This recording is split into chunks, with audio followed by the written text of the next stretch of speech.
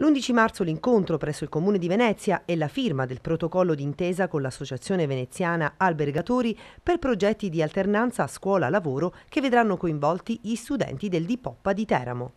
Questo per dare la possibilità ai nostri alunni eh, di fare delle esperienze di alternanza eh, scuola-lavoro fuori dal nostro territorio.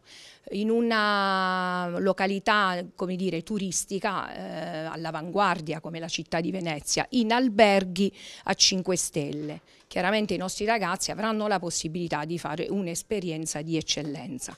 Quale sarà il primo step? Quindi abbiamo subito deciso di iniziare questa, questa esperienza con eh, l'organizzazione di un evento promozionale presso un albergo di Venezia e mm, il nostro personale, quindi gli insegnanti tecnico-pratici di cucina, di sala e di accoglienza turistica organizzeranno questo evento insieme ai nostri studenti, quindi le competenze di tutto il mio personale ci permetterà di organizzare questo evento.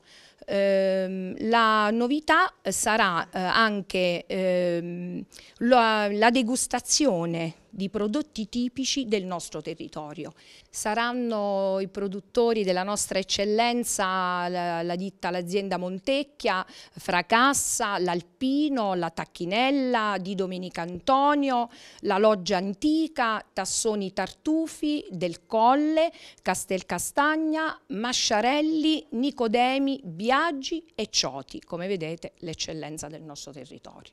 È una soddisfazione immensa sapere che il mio comune, la mia gente, il mio territorio insomma, arriva a Venezia eh, come dire, in pompa magna con il supporto ovviamente del BIM che io ringrazio per la grande disponibilità dell'Istituto di Poppa e di tutti coloro che hanno patrocinato l'evento e danno delega al sottoscritto di rappresentare l'Abruzzo in una città importante come quella di Venezia.